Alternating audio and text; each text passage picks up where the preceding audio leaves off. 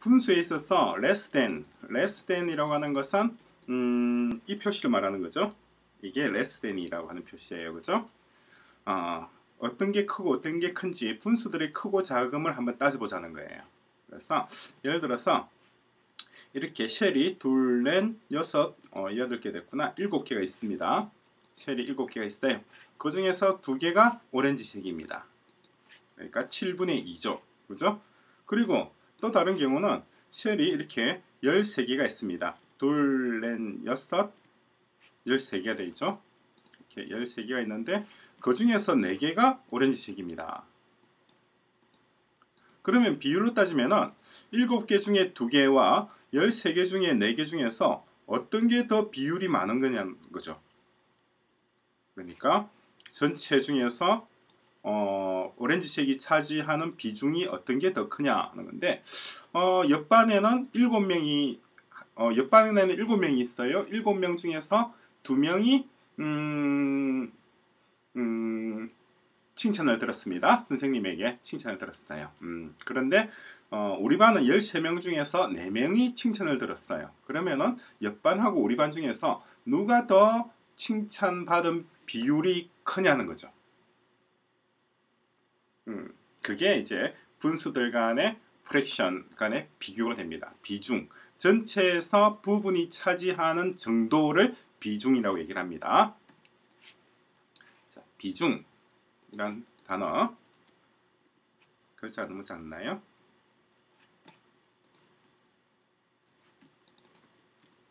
비중.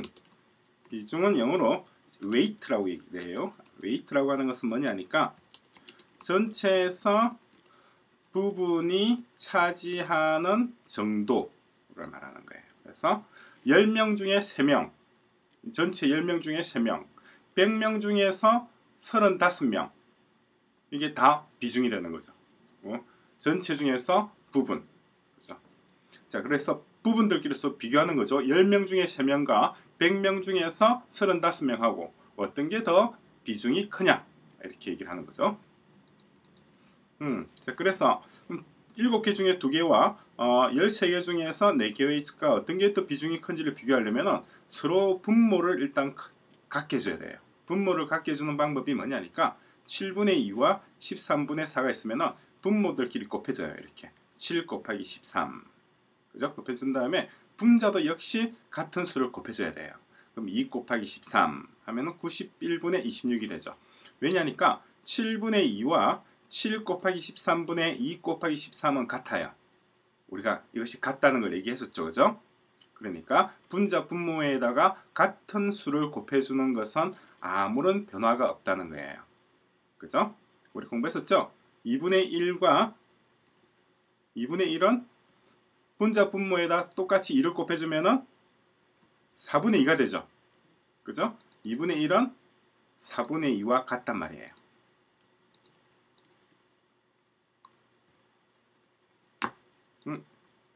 글자가 너무 작게 됐네요.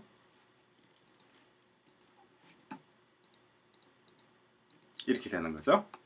그러면 자, 7에다 13을 곱해주고 2에도 분모인 어, 분자인 2에도 13을 곱해줘서 91분의 26이 되고 13은 반대로 7을 곱해줍니다. 7을 곱해줘서 얘가 7이니까 그래서 분자 분모에다 같이 곱해주면 91분의 28이 되는 거죠. 그럼 91분의 26과 91분의 28 중에 어떤 게 크냐는 거죠. 그러면 이제 쉽게 이해할 수가 있죠. 쉽게 91명 중에서 28명, 91명 중에서 26명 어느 게 더 많죠? 이게 훨씬 많, 이게 두 개가 더 많잖아요. 바로 알 수가 있죠.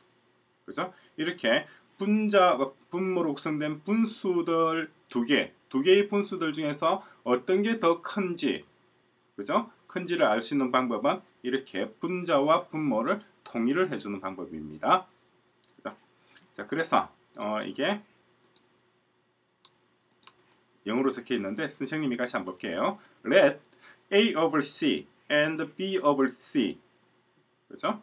Let A over C and B over C. 그러니까 C분의 A와 C분의 B. 분모가 같죠? Be any fractions. Let 뭐뭐뭐 B. 자, 뭐뭐 이게 하자 이 말입니다. C분의 A와 C분의 B가 어떤 종류의 분수이든지 상관이 없습니다. 이 말이에요. 그러니까 모든 분수에 대해서 이러한 형태 C분의 A와 C분의 B 형태를 가지고 있는 분수들에 대해서는 다 적용된단 말이에요. 뭐냐니까 then 그렇다면은 C분의 A는 C분의 B보다 작다.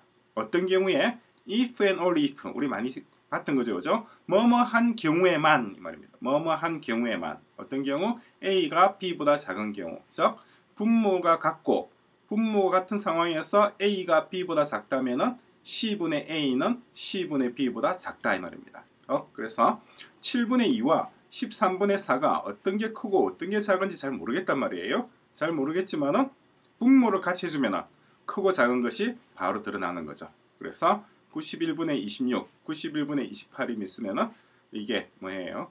26이 28보다 작으니까 91분의 26이 얘보다 더 작다는 것을 우리가 알 수가 있습니다.